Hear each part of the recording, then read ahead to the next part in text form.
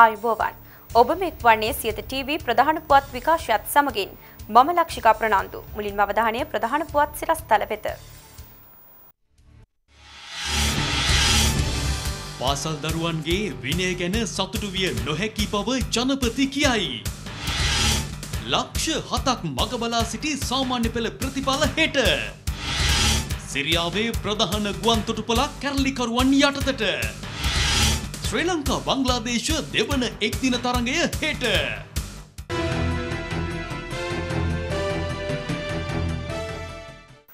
ප්‍රථමයෙන් දේශීය පුවත් අතීත අත්දැකීම් පදනම් කර ගනිමින් ජාතික හා ජාත්‍යන්තර වශයෙන් ඉදිරි සියවස ජයග්‍රහණය කිරීමේ වගකීම පාසල් දරුවන් හමුවේ පවතින බව ජනාධිපතිතුමා පවසනවා. රත්නපුර ෆර්ගසන් විද්‍යාලයේ අද පැවති සැමරුම් උත්සවයට එක්වෙමින් ජනාධිපති මෛත්‍රීපාල සිරිසේන මැතිතුමා මේ බව අවධාරණය කළා.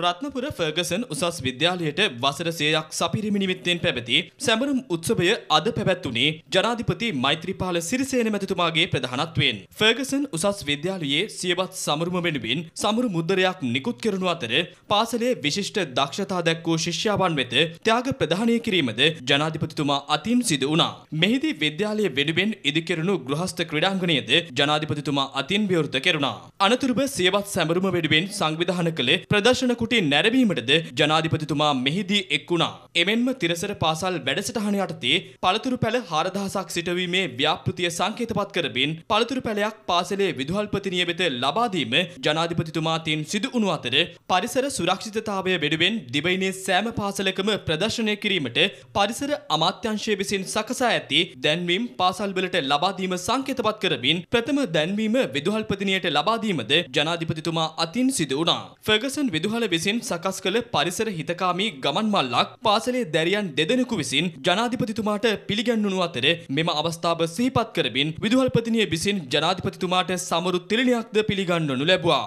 දරුවනය අද විවෘත වූ ලෝකය නම තාක්ෂණයක් සමඟ ඔබේ නිවසේ සිට ඔබේ නිදන කාමරයේ සිට ඔබ පාඩම් කරන කාමරයේ සිට අන්තර්ජාලය හරහා ඔබ ලෝකයේ දකිනවා. ඒ නිසා අභියෝග ජයග්‍රහණය කරන්න නිවසේ නිදන කාමරයත් පාසලේ පන්ති කාමරය සිට අන්තර්ජාලයෙන් දකින ලෝකය ඔබ විසින් පැහැදිලිව වටහා ගත යුතු වෙනවා. බාහිර ක්‍රියාකාරකම් බාහිර විවිධ අංශවල ඔබ ලබන ජයග්‍රහණ පිළිබඳව අපි කවුරුත් සතුටුය යුතුයි. එක් ජාතික පුවත්පතක ඊයේ ඉරිදා කතුවැකිය මේ රටේ පාසැල් දරුවන්ගේ විනය පිළිබඳව කතා කරලා තිබුණා. මම දැන් කොළඹ ඉඳලා එන ගමනුත් ඊයේ කියපු කතවැකිය දෙවෙනි වරටත් කියෙව්වා. මේ රටේ පාසැල් දරුවන් විභාගවලින් සමත්වීම විශිෂ්ටයි නමුත් සමාජය තුළ එන බොහෝ තොරතුරු ආශ්‍රිත කරුණු පිළිබඳව සැලකිල්ලට ගත් විට පාසැල් දරුවන්ගේ විනය පිරිහීම පිළිබඳව ප්‍රශ්නය. මුදලට වහල් වූ ලෝකේක සල්ලි පිළිබඳව විශ්වාසය තබන ලෝකේක මිනිසුන්ට වඩා සල්ලිවල වටිනාකම් ගැන කතා කරන මිනිසුන් ඉන්න සමාජයක මේ අභියෝගය අප විසින් තේරුම් ගත යුතු වෙනවා.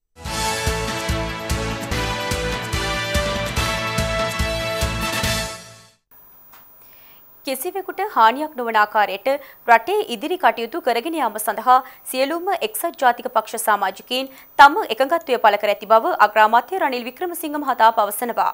පසුගියදා කොළඹදී පැවති උත්සවයකට එක්වෙමින් අග්‍රාමාත්‍යවරයා මේ අදහස් පළ කළා. අද අපි ඔක්කොම දන්නවා. ඇයි මෙහෙම මාධ්‍යවේදීන් ඝාතනය කළේ? ඇයි රතුපස් වෙල සිංහල මිනිස්සු ඝාතනය කළේ? ඇයි අනික් තැන්න ඝාතනය කළේ? බලය අල්ලගෙන ඉන්න ඕන නිසා ජාතිවාදයට ගිහින් තමයි ඝාතනය කරන්නේ. ඉතින් තාම දුවන්නේ මේ ආගම්වාදයයි ජාතිවාදය ගැන. ඒත් අපි බලන්නේ මෙතන මේ ප්‍රශ්නේ විසඳන්න. අපි කොහොමද ජාතික වශයෙන් එකඟතාවයක් ඇති කරගන්නේ? අපි කොහොමද ඉදිරියට යන්නේ? ඒක ලේසි පහසු වැඩ කටයුත්තක් නෙමෙයි. පාර්ලිමේන්තුවේ බලන්නේ කොහොමද අපි අලුත් ව්‍යවස්ථාවක් හදන්නේ? සමහරු කියනවා මේ බුද්ධ ආගම නැති වෙනවා කියලා. බුද්ධ ආගම ඒ තියෙන ස්ථානේ නැති කරන්නේ අපි කියන්නේ හැම ආගමටම නිදහසේ තමන්ගේ ආගම අදහන්නත් ඒකටත් ගෞරවයක් දෙන්න කියලා. ඒකට කවුරුවත් විරුද්ධ නැහැ. අපේ මහානායක ස්වාමීන් වහන්සේත් විරුද්ධ නැහැ. ඒක විරුද්ධ වෙන්නත් අය ඉන්නවා. පුදුම එකක්. අපිට ඕනේ මෙතන සිංහල ජනතාවගේ ප්‍රශ්නත් දෙමළ ජනතාවගේ ප්‍රශ්නත් මුස්ලිම් ජනතාවගේ ප්‍රශ්නත් ඔක්කොම ඒ දිහා බලලා විසඳුමකට එන්න. ඉතින් අපි දැන් බොහෝ දුරට කතා කරලා අපේ පක්ෂ අතර විශාල එකඟත්වයක් තියෙනවා. කොහොමද ඉදිරියට යන්නේ කාටවත් හානි නොවන විදියට. මෛත්‍රීපාල සිරිසේන ජනාධිපතිතුමා යටතේ මේ ආණ්ඩුවත් අපේ පක්ෂ සියල්ලමත් පාර්ලිමේන්තුවේ මේ රට එකතු කරලා දේශපාලන විසඳුමට යන්න තියෙන ඒ ගමනට ඔබේ සම්පූර්ණ සහයෝගය ලබලා දෙන්න කියලා මං ඉල්ලා සිටිනවා. දෙදහස් දහසය අධ්‍යයන පොදු සහතික පත්‍ර සාමාන්‍ය පෙළ විභාගයේ ප්‍රතිඵල හෙට නිකුත් කිරීමට නියමිතයි. පසුගිය දෙසැම්බර් මස පවත්වන ලද අධ්‍යයන පොදු සහතික පත්‍ර සාමාන්‍ය පෙළ විභාගයේ ප්‍රතිඵල හෙට දිනේ නිකුත් කිරීමට සූදානම් බව විභාග කොමසාරිස් ජෙනරාල් WMNJ පුෂ්පකුමාර මහතා පවසනවා. දෙදහස් දහසේ සාමාන්‍ය පෙළ විභාගය සඳහා සිසුන් ලක්ෂ හතකට ආසන්න සංඛ්‍යාවක් පෙනී සිටියා. ප්‍රතිඵල නිකුත් වූ සැනින් www.donets.lk වෙබ් අඩවිය තුළින් ප්‍රතිඵල නිරීක්ෂණය කිරීමේ අවස්ථාව හිමි වනවා. ප්‍රථමයෙන්ම අන්තර්ජාලයට මෙලෙස ප්‍රතිඵල නිකුත් කෙරෙන අතර ඉන් අනතුරුව විභාග අපේක්ෂකයින් වෙත ප්‍රතිඵල ලබා දීම සිදුවනවා. එමෙන්ම සාමාන්‍ය පෙළ උසස් පෙළ ඇතුළු ප්‍රධාන විභාගවල ප්‍රතිඵල මේ වසරේ සිට නිශ්චිත දිනයන්හිදී නිකුත් කිරීමට පියවර ගන්නා බව අධ්‍යාපන අමාත්‍ය අකිල විරාජ් කාර්යවසම් මහතා ප්‍රකාශ කර තිබුණා. ඒ අනුව මෙවර උසස් පෙළ විභාගය අගෝස්තු 8 වනදා සිට සැප්තැම්බර් මාස 2 වනදා තෙක් පැවැත්වෙන අතර එහි ප්‍රතිඵල දෙසැම්බර් 27 වනදා නිකුත් කෙරෙනවා. පහ ශ්‍රේණිය ශිෂ්‍යත්ව විභාගය අගෝස්තු මාස 20 වනදා පැවැත්වීමට සැලසුම් කර තිබෙනවා. එහි ප්‍රතිඵල ඔක්තෝබර් 5 වනදා ප්‍රකාශයට පත්වනු ඇති. රට ඉදිරියට රැගෙන යාමට පක්ෂ දෙකකින් සමන්විත වත්මන් ආණ්ඩුව ඉතාමත් වැදගත් බව මුදල් අමාත්‍ය රවි කරුණානායක මහතා පවසනවා. ඒ අමාත්‍යංශයේ පැවති උත්සවයකට එක්වෙමින්. බ්‍රතාන්යේ ද බෑංක සංගරාව මගින් ආසියා පැසිෆික් කලාපේ දෙදහස් දාහත වසරේ හොඳම මුදල් අමාත්‍යවරයා ලෙස අමාත්‍ය රවි කරුණානායක මහතා පසුගේතා සම්මානයට පාත්‍ර වුණා. ඒ වෙනුවෙන් පිළිගැනීම උත්සවයක් අද පැවැත්වුණා. මේ පක්ෂ දෙකක් එකට ඉදිරිපත් කළා එක ජාතික ප්‍රතිපත්ති තුළ ඉදිරියට යෑම අපේ රටට තියෙන හොඳම අවස්ථාව ලෙස මම මතක් කරනවා. මේ අවස්ථාව තමයි උපයෝගී කරගන්න අවශ්‍යයි අපේ රට හදන්න. ණය තුලින් රටක් ඉදිරියට ගෙනියන්න බෑ. ණය වෙනුවෙන් අපි ආයෝජනය කරන්න ගන්න අවශ්‍යයි. 1948 අපි නිදහස ලබනකොට අපත් ජපානයත් එක සම මට්ටමේ තිබ රටවල් දෙකක්. අද ජපානයක පුද්ගල ආදායම US ඩොලර් 55000ට වැඩි වෙනකොට ලංකාව තාම 4000 තිබෙනවා. අපි රට බාර ගන්නකොට අපේ ආදායම මැදුණා ණය ටික ගෙවන්න. අද අපිට පුළුවන් වෙලා තිබෙනවා අපේ ආදායම අපේ ණය සේවා කරණය ගෙවන්න. අපේ පුනරාවර්තන වැඩි අපි ආදායමක් උපයන. ඒ නිසා ණය ගන්න ඕනේ ණය ගෙවන්න. ඒ නිසා වියදම ආර්ථිකයේ ඵලදායීතාවයක් ඇති වෙන්න පුළුවන් වියදමක් වේ යුතුයි. නිකරුණේ වියදම් කරලා ඒකට ආර්ථික ප්‍රතිඵලයක් ලැබෙන්නේ නැත්නම් ඒක නාස්තිකාර වියදමක් වෙනවා. ඒ වගේම ආදායම ගන්නවා කියන්නේ ජනතාවට දරා ගන්න පුළුවන් ආදායමක් වේ යුතුයි. නිකම් බදු ගහනවා කියලා ජනතාවට දරා ගන්න බැරි නම් ඒක අසාර්ථක වෙනවා. අපි ආඩම්බර නිදහස ලැබුණාට නමුත් අපි පෙන්නමු සුද්දන්ට වැඩි අපි රට පාලනය කරලා අපි ලංකාව අලුත් දිශාවකට ගෙනියමු. අමාත්‍ය විජේදාස රාජපක්ෂ මහතා අද දිනේ මල්වතු සහ අස්කිරි මහනායක හිමිවරුන් බැහැදුටුවා. මෙහිදී අමාත්‍යවරයා විසින් ජාත්‍යන්තර වෙසක් උත්සවය පැවැත්වීම සම්බන්ධයෙන් මහනායක හිමිවරුන් දැනුවත් කරනු ලැබුවා. බෞද්ධ දර්ශනයේ ඉගැන්වීම් තුළින් ලෝකසාම ඇති කිරීමේ තේමාව යටතේ ජාත්‍යන්තර වෙසක් දිනය මැයි මාස 12 වෙනි දින කොළඹදී ආරම්භ වන අතර එය 14 වෙනිදා මහනුවරින් අවසන් වන බව බුද්ධ ශාසන සහ අධිකරණ අමාත්‍ය විජේදාස රාජපක්ෂ මහතා මල්ලොතු අස්ගිරි මහනාහිමිවරුන් බැහැදක දැනුම් දුන්නා. අමාත්‍යවරයා සමග ඉන්දිය මහ කොමසාරිස් තරංජිත් සිං සින්දු යන මහතුරුන්ද මෙම අවස්ථාවට එක් වුණා. මල්ලතු පාර්ශවයේ මහනායක අතිපූජ්‍ය තිබ්බටු අවේ ශ්‍රී සිද්ධාර්ථ සුමංගල මහනාහිමියන් සහ අස්ගිරි පාර්ශවයේ මහනායක අතිපූජ්‍ය වරකාගොඩ ඥානරතන මහනාහිමරුන් බැහැදක ආශිර්වාද ලබාගත් අමාත්‍යවරයා ඉන් අනතුරුව ජාත්‍යන්තර වෙසක් දිනය පිළිබඳව දැනුම් දුන්නා. විශේෂයෙන්ම තේරවාදී බෞද්ධ ධර්මය ආරක්ෂා කරපු රට විදියට අදටත් ලෝකෙටම ධර්මය බෙදා හැරෙන රටක් විදියට අද ලෝකෙට අත්‍යවශ්‍ය වෙලා තියෙන මේ බුදුන් වහන්සේ දුන්න සාමකාමී පණිවිඩය හරහා තමයි ලෝකෙට ඉදිරි ගමනක් තියෙන්නේ. ඉතින් ඒක නිසා මේ ලංකාවේ මේ සමුළුව පැවැත්වීම ලෝකෙටම ආදර්ශමත් සුවිශේෂ කාරණයක්. අමතුනි මේ වන විට දඹදිව සංචාර සීමාවන් පැනවීමට අමාත්‍යාංශ මගින් කටයුතු කරනවා කියලා ඒ මොකක්ද දිගින් දිගටම මේ අදේ ඉඳලා නෙවෙයි අවුරුදු ගණනාවක් තිස්සේ බුද්ධ ශාසන අමාත්‍යාංශයත් බෞද්ධ කටයුතු කොමසාරිස් දෙපාර්තමේන්තුවත් නොයෙකුත් නිර්ණායකයන් දීලා තියෙනවා. ඔවුන් ලියාපදිංචි කරනවා නිරන්තරයෙන් ඔවුන් අධීක්ෂණය කරනවා. ඒ නිසා නිරන්තරයෙන්ම මේ වන්දනාකරුවන්ගේ ආරක්ෂාව වෙනුවෙන් නීති රීති රෙගුලාසි සකස් කරලා දීලා තියෙනවා. ඉතින් ඒ එහෙම තිබුණත් යම් යම් අවස්ථාවල් වල මේ වගේ අවාසනාවන්ත සිද්ධි වාර්තා වෙනවා. ඉතින් ඒ පිළිබඳව සොයලා බලලා ඉදිරියේදී ඒවා වැළැක්වීම සඳහා අවශ්‍ය පියවර ගන්නවා. පිළි නොපැද යම් කිසි කාරණයක් වැරදි දෙයක් කරලා තියෙනවා නම් අපි ලියාපදිංචිය අවලංගු කරලා අවශ්‍ය නීති පියවර ගන්නවා. පුංචිබරැල්ල අග්‍රඵල බෝධීන් වහන්සේගේ උඩමළුවේ ධාතු මන්දිරය විවෘත කිරීම මහා සංඝරත්නයේ අතින් ඊයේ පස්වරුවේ සිදු කෙරුණා. කොළඹ නගරයේ බෝධිරෝපණය පිළිබඳව ඉතිහාසයක් තිබෙනවා. එය මිෂනාර යුගයේදී බෞද්ධයන්ගේ පූජ්‍ය ස්ථාන විනාශ කරන ලද අධිරාජබාදීන්ට බෞද්ධයන් විසින් දුන් පිළිතුරකි. මෙවන් බෝධියක් රෝපණය කිරීම සිහි කරමින් 1922 මාර්තු මාස 21 වනදා මෙරටට පැමිණි බ්‍රිතාන්‍ය වේල්ස් කුමරු මෙම බෝ සමිඳු අභියස සිට සිය ගෞරවය පුදා එය සිහිපත් කිරීමේ පළකයක්ද විවෘත කරනු ලැබුවා. එවකට පැවති අන්‍යාගමික බලපෑම් මත මේ බෝ සමිඳුන් වහන්සේ කපා ඉවත් කිරීම කිරීමට කටයුතු කරනද එම උත්සාහයන් සියල්ල ප්‍රදේශවාසීන් එක්ව ව්‍යර්ථ කිරීමට කටයුතු කර තිබෙනවා. එබඳු ගමනකදී රෝපණය කළ පුංචි බොරැල්ල ප්‍රදේශයේ පිහිටි බෝධීන් වහන්සේ වටා ප්‍රාකාරාදිය සකසමින් නව ජීවයක් ලබා දෙමින් අලංකාර කරමින් බෝධිය සුරක්ෂිත කිරීමට ආචාර්ය මිලිනා සුමතිපාල මැතිණිය ඇතුළු එතුමියගේ දූ දරුවන් විශාල මෙහෙයක් සිදු කරනු ලැබුවා. ඒ අනුව මිලිනා සුමතිපාල මැතිණියගේ අදහසකට අනුව ඉදිකිරීම ආරම්භ කළ පුංචි බොරැල්ල අග්‍රඵල බෝධීන් වහන්සේගේ ගේ උඩමළුවේ ධාතු මන්දිරයේ එතුමිය අභාව ප්‍රාප්ත වී තෙමසක් ගතවන මොහොතේ ඊයේ පස්වරුවේ විවෘත කෙරුණා.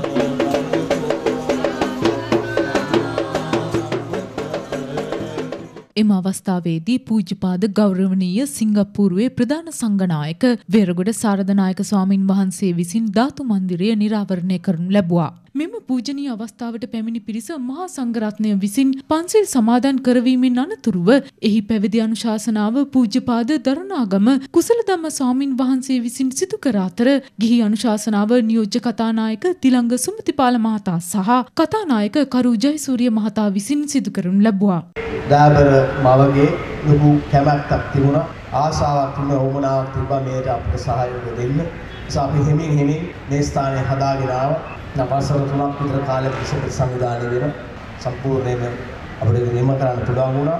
අපිට පුළුවන් වුණා ධාතුන් වඩම්මන්න. ඒක අපිට ලොකු සන්තෝෂයක් වාසනාවක් මේ ප්‍රදේශයේ සියලුම ජනතාවට ලොකු ආශ්වාසයක්. ඒ කරන්න පුළුවන් වුණේ අපේ කුසල් ධම්මනායක හාමුදුරුවන් මෙතෙන්ට අපිට ධාතුන් වහන්සේලා පිරිනැමු නිසා. සියලුම නායක හාමුදුරුවෝ අවුරුදු ගණනාවක් තිස්සේ අපිත් එක්ක සමීප නායක හාමුදුරුවෝ ස්තුතිවන්ත වෙනවා. මේ කාර්යය සාර්ථකවන්ට සිල් දෙනාට ස්තුතිවන්ත වෙමි. මොකද ඊටමත්ම වටිනා පුණ්‍ය කර්මයක්. මේක ඒ වගේම ඓතිහාසික ස්ථානයක්. ඒ වගේම මේ තැන කෙරේ විශාල භක්තියක් මේ ප්‍රදේශයේ කාටවත් තිබුණා. ඒ වගේම අද මේක සිද්ධ කරන්නේ ලෝකයේ බුද්ධ දර්ශනය සඳහා බෞද්ධ ධර්මයේ සඳහා විශාල පුනර්ජීවනයක් ඇති වෙන අවස්ථාවක බෞද්ධ දර්ශනය සඳහා ලෝක පිපාසයක් ඇති වෙන අවස්ථාවක. ඒ වගේ මේ අවුරුද්ද ඒ අතින් මම හිතන්නේ අපි දකින ලෝකයේ සෑම රටකම වාගේ බෞද්ධ දර්ශනය දිහා විද්වත්තු දේශපාලන නායකයෝ බලන ආකාරය ඉතින් ඒ නිසා අපි විශ්වාස කරනවා ඉදිරියට අපිට බෞද්ධ දර්ශනය සඳහා විශාල ඉල්ලුමක් ඇති වෙයි. බෞද්ධ දර්ශනය සඳහා විශාල කැපවීමක් කරන්න අපේ ශ්‍රී ලංකාවට උතුමක් තියෙන පුංචි රටක් වුණත් අද ලෝකයේ බෞද්ධ නායකත්වය ශ්‍රී ලංකාවේ ඇරලා තියෙනවා. චීනය යුරෝපය ඇමරිකාව වගේ රටවල් වලින් මේ රට විශාල වශයෙන් මම බුද්ධ ශාසන අමාත්‍යවරයා තිබුණු සුළු කාලය තුල මම දැක්ක කොයිතරම් ඉල්ලුමක් තියෙනවද කියලා ඒ ආධාර උපකාර ලබා දෙන්න. මුදල් වලින් නෙමෙයි ස්වාමින් වහන්සේගෙන් ධර්ම දේශනා සඳහා භාවනා සඳහා කඩුවෙල නගර සංවර්ධන සැලසුම් පිළිබඳ දැනුවත් කිරීමේ හමුවක් අද අමාත්‍ය පාටලි චම්පික රණවක මහතාගේ ප්‍රධානත්වයෙන් පැවැත්වුණා. එහිදී ප්‍රදේශයේ කසල ගැටලුව, අයාලේ යන ගව ගැටලුව ආදියට විසඳුම් ලබා දීම පිළිබඳවත් දීර්ඝව සාකච්ඡාවට ලක් වුණා. අපේ තියෙනවා දිගු කාලීන වැඩසටහන. ඒ අනුව කොළඹ නගරයේ තිබෙන තවත් අමාත්‍යාංශ ගණනාවක් බත්තර මුල්ලට එනවා. පරිපාලන මධ්‍යස්ථානයක් බවට බත්තර මුල්ල පත් වෙනවා. ඒ වගේම දැනටම එහි විශාල මාර්ග තදබදයක් තියෙනවා. ඒ නිසා ඒකට අපි විසඳුම් වලියක් ඉදිරිපත් කරලා තියෙනවා. පළමුවෙන්ම රජය කටයුතු කරගෙන යනවා කඩුවෙල හරහා යන අධිවේගී මාර්ග පද්ධතියට බත්තර මුල්ල යා කරන්න. ඊළඟට බත්තර මුල්ල අනික් පැත්තෙන් කොළඹ නගරයට යා කරන්න. ඒ වගේම සැහැල්ලු දුම්රිය පද්ධති. ඒකත් අපි ගෙන එන්න බලාපොරොත්තු වෙනවා ලබන වසරේ. දැන් මේ කඩුවෙල තියෙන එක ප්‍රශ්නේ අපි මෙච්චර දියුණු වුණත් පාරේ විශාල ගවයෝ ප්‍රමාණයක් ඉන්නවා. ඉදිරි මාස 3 ඇතුළත අපි කොළඹ දිස්ත්‍රික්කයේ සෑම තැනකම පාරවල් වල අයාලේ යන ගවයින් ඉවත් කරනවා. ඒ වගේ මේ කඩුවෙල තියෙනවා කසල ගැටලුවක්. ඒ කසල ප්‍රශ්නෙත් අපි විසඳ ගන්නවා. කඩුවෙල කුණු අපි පිට ගෙනියන්න ඕනේ. අපි ඒකට විසඳුමක් හොයා ගන්නවා. විසඳුම් තියෙන ඕන තරම්. මහජන කැමැත්ත විතරයි අවශ්‍ය. විරෝධතාවයට විතරක් නෙවෙයි සංවර්ධනයේ ඉල්ලලා ඉස්සරහට එන්න ඉක්කුත් ජනාධිපතිවරණ සමයේ කහවත්තේ සිදු වූ දේශපාලන ඝාතන නඩුව අද දින රත්නපුර මහාධිකරණයේදී විභාග කෙරුණා. මෙහිදී මහාධිකරණ විනිසුරු රෝහන් ජයවර්ධන මහතා මෙම නඩුව මෙම මාස 29 වන දිනට යලි කල් තබනු ලැබුවා. ඉකුත් ජනාධිපතිවරණ සමයේ කහපත්තයේදී එක්සත් ජාතික පක්ෂ වේදිකාවකට කඩා වැදී පුද්ගලයෙකුට වෙඩි තබා ඝාතනය කර තවත් පුද්ගලයින් දෙදෙනෙකු ඝාතනය කිරීමට තැත්කිරීම සම්බන්ධයෙන් වූ නඩුවේ මූලික සාක්ෂි විභාගය අද රත්නපුර මහාධිකරණයේදී ආරම්භ වුණා. රත්නපුර මහාධිකරණ විනිසුරු රොහන් ජයවර්ධන මහතා ඉදිරියේ කැඳ වූ මෙම නඩුවේ සියලු සාක්ෂි ලබාගෙන ඒවා අධ්‍යයනය කිරීමට කාලය අවශ්‍ය බව විත්තිකරුවන් වෙනුවෙන් පෙනී සිටි නීතිඥවරුන් අධිකරණයෙන් ඉල්ලා සිටියේ නඩු කටයුතු විභාගය සඳහා වෙනත් දිනයක් ලබා දෙන ලෙසයි. ඒ අනුව කරුණු සලකා බැලූ විනිසුරුවරයා දිනයක් ප්‍රකාශ කිරීමට මෙමස විසි නවමනදාට යළි කැදවුණු ලැබවා. රටවටා පුවත් කිහිපයක් කෙටියෙන් දකිමු දැන්.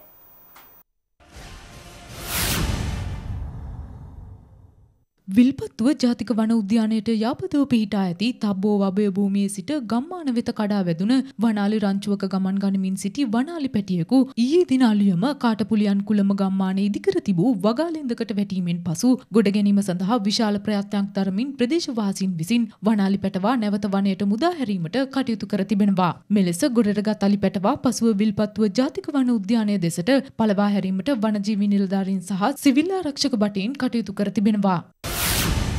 මස්කෙලියේ සිට නෝටන් බ්‍රිජ් දක්වා ධාවනය වූ ටිපර් රථයක් මස්කෙලිය නෝටන් බ්‍රිජ් ප්‍රධාන මාර්ගයේ ඇඩික් ප්‍රදේශයේදී අඩි 400ක් පමණ ප්‍රපාතයකට පෙරලීමෙන් ටිපර් රථය දෙකට කැඩී රියදුරා බරපතල ලෙස තුවාල ලබා ලක්ෂපාන ප්‍රාදේශීය රෝහලට ඇතුළත් කර ඇති බව නෝටන් බ්‍රිජ් පොලිසිය පවසනවා. අද උදෑසන 6ට පමණ මෙම අනතුර සිදු වී ඇති අතර එම ටිපර් රථය නෝවුඩ් මාර්ග සංවර්ධන අධිකාරී කාර්යාලයට අනුයුක්තව ධාවනය කළ රථයක් බවයි පොලිසිය පවසන්නේ. ටිපර් රථයේ හදිසි ඇති වූ කාර්මික දෝෂයක් මෙම අනතුරට හේතු වී ඇති බව පොලිසිය පවසනවා. අනතුර පිළිබඳ නෝටන් බ්‍රිජ් පොලිසිය පුළුල් ලෙස පරීක්ෂණ ආරම්භ කර තිබෙනවා.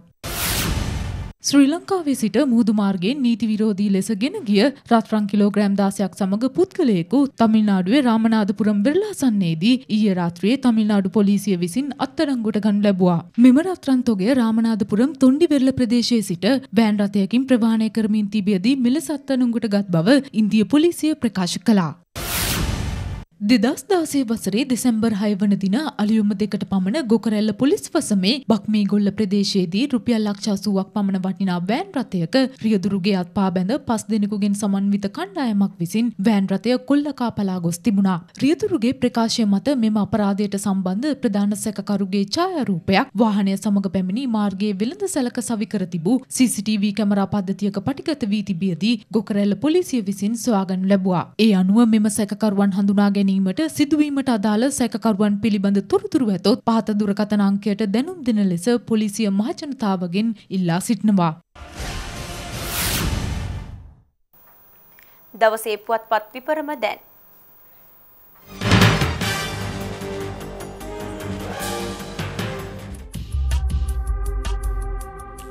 ලංකාදීප ජනපති මහඇමතිවරුන් හදිසියේ කැඳවයි. හම්බන්තොට වරාය ව්‍යාපෘතිය සියලු තොරතුරු මැති සබේට අවශ්‍ය නම් විවාදයක් රජය තීරණය කරයි. දිනමින හම්බන්තොට ව්‍යාපෘතිවල සියලු විස්තර මැති සබේට ගේන්න රජය සූදානම් අවශ්‍ය නම් විවාදයකටත් අවස්ථාව. ඇමති ආරක්ෂකංශයේ වැඩ නැති දෙසීයක් පොලිසිවලට මාරු. මවබිම.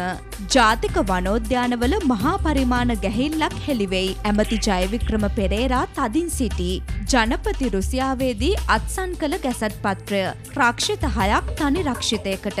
ජනතා විරෝධය වහන්න කළ බොරුවක් පරිසර සංරක්ෂණ භාරය ලක්බිම රාජ්‍ය ආයතනවලට පනින්න උද්ඝෝෂකයන්ට ඉඩ දෙන්න එපා. පරිපාලන සේවා සංගමය රජයෙන් ඉල්ලයි. දඹදිවදී ලාංකිකයන් මිය යෑම ගැන පරීක්ෂණයක්. එකම නඩේ තිදෙනෙකු මිය ගිහින්. දිවයින.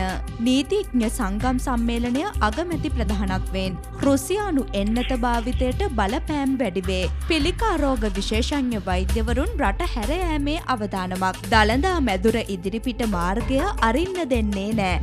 ඇමති ලක්ෂ්මන් කිරිය සිරියල්ල.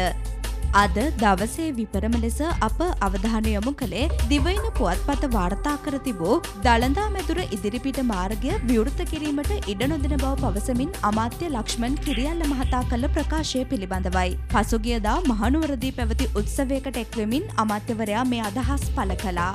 නායකහාමුදුරුව කතා කිව්වා මානුවර තදබදයක. ඒකටත් අපි පිළියමක් යොදලා තියෙනවා. අපි තන්නේ කුමරේ ඉඳලා සුදුහුඹල දක්වා උමම් මාර්ගයක් හදන්න අපි කටයුතු කරලා තියෙනවා. ගිය සතියේ කොරියානු විදේශ ඇමතිතුමා ආවා. එතුමා මට පොරොන්දුවක් දුන්නා ලබන අවුරුද්දේ මැද භාග වෙනකොට ඒ කටයුත්ත ආරම්භ කරන්න අවශ්‍ය සහයෝගය දෙනවා. ඉතින් මේ උම මාර්ගයේ ඉදිරියෙන් පස්සේ මම හිතන්නේ මහනුවර නගරයේ තදබදය අඩු වෙනවට කිසිම සැකයක් නැහැ.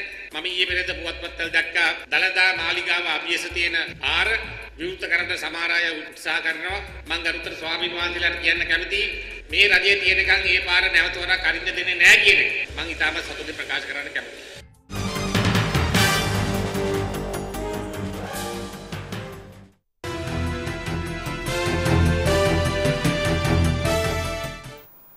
දැන් සියත ලොව වටා.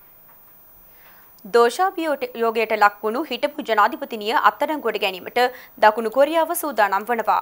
විදෙස් වාර්තා පැවසුවේ එරට අභිචෝදකීන් ඒ සඳහා අධිකරණයේ සහාය ඉල්ලා ඇති බවයි. මූල්‍ය වංචා හා දූෂණ බල අනිසිලස භාවිතය හා රාජ්‍ය තොරතුරු හෙළිකිරීම යන චෝදනා හමුවේ දෝෂාභියෝගයට ලක්ව පසුගේදා බලෙන් පහ කෙරණු දකුණු කොරියාවේ හිටපු ජනාධිපති පාක් ගියුන් හයි අත්අඩංගුවට ගැනීමට එරට අභිචෝදකයින් සූදානම් වනවා. ඒ අනුව ඇය අත්අඩංගුවට ගැනීම සඳහා වරෙන්තු නිකුත් කරන ලෙසයි අභිචෝදකයින් අධිකරණයෙන් ඉල්ලා ඇත්තේ. හිටපු ජනාධිපතිනයට එරෙහිව එල්ලවන චෝදනා සම්බන්ධයෙන් දකුණු කොරියානු බලධාරීන් පසුගිය සතියේදී ඇයගෙන් පැයදා හතරක කාලයක් පුරා ප්‍රශ්න කිරීම් සිදු කර තිබුණා. එම ප්‍රශ්න කිරීම් වලට පෙර අදාළ චෝදනා සම්බන්ධයෙන් හිටපු ජනපතිනිය සිය රටවැසියන්ගෙන් සමාව අයද සිට බවයි විදෙස් මාධ්‍ය වාර්තා කළේ. ඇයව ඉතා ඉක්මනින් අත්අඩංගුවට නොගතහොත් නඩුවට අදාළ සාක්ෂි ලෙස භාවිතා කළ හැකි පරිගණක දෘඩාංග හා දත්ත විනාශ කිරීමට ඉඩ ඇති බව හිටපු ජනාධිපතිනියට එරෙහිව එල්ල වී ඇති චෝදනාවන්ට අදාළ නඩුව මෙහෙවන අභිචෝදකයින් අධිකරණය වෙත දන්වා තිබෙනවා. අල්ලස් හා දූෂණ චෝදනාවන් එල්ල වී සිටින හිටපු ජනාධිපතිනියගේ සමීපතම යෙහෙලියක වන චෝයි සූන් සිල්ට අදාළ නඩුවද මේ දිනවල විභාග වෙමින් පවතිනවා. එසේම හිටපු ජනාධිපතිනියගේ හා ඇයගේ යෙහෙලියගේ මූල්‍ය දූෂණ හා වංචාවන්ට සම්බන්ධ බවට සැකකෙරෙන ප්‍රසිද්ධ දුරකථන සමාගමක ප්‍රධානියෙකුද මේ වන විට පොලිස් අත්අඩංගුවේ පසුවනවා. සිරියාවේ පිහිටි ප්‍රධාන ගුවන් කඳවුරක බලය සියතට ගැනීමට එරට කැරලිකරුවන් සමත් වී තිබෙනවා. එම කඳවුර මීට පෙර පැවතුනේ IS සටන්කරුවන් යටතේ. සිරියාවේ පිහිටි ප්‍රධාන පෙළේ ගුවන් කඳුරක බලය අල්ලාගත් බව අමරිකාවේ සහය සහිත සිරියානු කැරලිකරුවන් පවසනවා. කැරලිකරුවන් මෙලෙසත් පත් කරගෙන ඇත්තේ අයිය සටන්කරුවන්ගේ ප්‍රබල බලකටුවක්සේ සැලකෙන රකා නගරයට ආසන්නේ පිහිටි ගුවන් කඳවුරක්. අයිය සටන්කාමින් රකා නගරය ප්‍රකාශයට පත් කරගෙන තිබුණේ සිය අගනගරය ලෙසයි. එම නිසා රකානගරෙන් අයිස් කරුවන් පළවා හැරීම සඳහා ආරම්භ කර ඇති මෙහෙයුම් වල සැලකිය යුතු පියවරක් ලෙස මෙම ගුවන් කඳුරේ බලය අත්පත් කර ගැනීම සැලකෙනවා. ගුවන් කඳුරේ බලය අත්පත් කරගත් බව තහවුරු කරමින් සිරියානු ප්‍රජාතාන්ත්‍රික හමුදාවේ ප්‍රකාශකයෙකු සඳහන් කර ඇත්තේ රකා නුවරට අයත් ටබ්කා ගුවන් තොටුපළ මේ වන විට සිය හමුදාව යටතේ පවතින බවයි. රකා නුවර පිහිටි ටසකා වේල්ලෙහි බලය අත්පත් කර ගැනීම කැරලිකාර හමුදාවන්ගේ මීළඟ ඉලක්කය වී තිබෙනවා. කෙසේ වෙතත් මෙම මෙහෙයුම් වලදී නගරය තුළ සිරිවී සිටින සිවිල් වැසියන්ගේ ගේ ආරක්ෂාව සම්බන්ධයෙන් සැලකිලිමත් වන්නයි මානව හිමිකම් පිළිබඳ සංවිධාන කැරලිකාර හමුදාවන් හට දැනුම් දී තිබෙනවා. එම සංවිධාන පවසන්නේ ගත වූ සතිය තුළදී ඒකාබද්ධ හමුදාවන් එල්ල කළ ගුවන් ප්‍රහාර හමුවේ සිවිල් වැසියන් අසුන් නම දෙනෙකු ජීවිතක්ෂයට පත්ව ඇති බවයි. ජපානයේ සිද වූ හිමකඳු කඩා වැටීමකින් පුද්ගලින් අට දෙනෙකු ජීවිතක්ෂයට පත් වුණා. අනතුරින් තවත් පුද්ගලින් තිස් දෙනෙකු පමණ තුවාල ලබා තිබෙනවා. මෙලෙස ජීවිතක්ෂයට පත්ව ඇත්තේ උසස් අධ්‍යාපන කටයුතු හදාරමින් සිටින ශිෂ්‍යයෙන් පිරිසක්. ජීවිතක්ෂයට පත්වන අවස්ථාවේදී ජපානයේ නාසු ඔන්සෙන් ස්කයි නම් නිවාඩු නිකේතනය තුළ එම පිරිස රැඳී සිට තිබෙනවා. නිවාඩු නිකේතනය පිහිට ඇත්තේ ටෝකියෝ අගනුවර උතුරු දිග කලාපයට අයත් තොචිගී නම් ප්‍රදේශය තුළයි. එය අසන්නේ පිහිටි හිම කන්දක් කඩා වැටීමෙන් අනතුර සිදුව තිබුණා. සිද්ධිය වාර්තා වූයේ අද උදෑසන කාලයේදී. එම අවස්ථාවේදී පාසල් හතකට අයත් සිසුන් සහ ගුරුවරුන් 70 දෙනෙකු පමණ අදාළ නිවාඩු නිකේතනය ආසන්න ප්‍රදේශයේ සිට ඇති බවටයි වාර්තා පළවන්නේ. ඔවුන් පාසල් මට්ටමින් සංවිධානය කර තිබූ හිමකඳු නැගීමේ අවස්ථාවකට සහභාගී වෙමින් සිට තිබෙනවා. අදාළ කඳුකර ප්‍රදේශය ආශ්‍රිතව නිවාඩු නිකේතන රැසක් දවසක් පිහිට ඇති අතර පසුගේ දෙදින පුරා එම ප්‍රදේශයට දැඩි හිමපතනයක් වාර්තා වී තිබුණා. කෙසේ වෙතත් අනතුර සිදු ඇත්තේ අදාළ ප්‍රදේශය තුලදී හිමකඳු කඩා වැටි හැකි බවට බලධාරීන් නිකුත් කළ పూర్ව අනතුරු ඇඟවීම්ද ක්‍රියාත්මක වෙමින් තිබූ පසුබිමක් තුලයි. විපතට පත්වුවන් මුදා ගැනීම සඳහා සහන මෙහෙයුම් කටයුතු ක්‍රියාත්මක නමුත් අදාළ ප්‍රදේශය තුල පවතින අයහපත් කාලිගුණය හමුවේ ජීවිතාරක්ෂක බටයින් හට අනතුරු සිදු වූ ස්ථානයට ළඟාවීම අපහසු වී තිබෙනවා. ඉකුත් සෙනසුරාදා සිට පවතින හිමපතනය හේතුවෙන් අනතුරු සිදු වූ ස්ථානය හා එයාපට ප්‍රදේශය තුළ සෙන්ටිමීටර් 30ක පමණ ඝන හිමතට්ටුවක් පවතින අතර ඒ හමුවේ ඕනෑම අවස්ථාවක යළිත් හිමකඳු කඩා වැටීම් වාර්තා විය හැකි බවට අනතුරු ඇඟවීම් නිකුත් කර තිබෙනවා.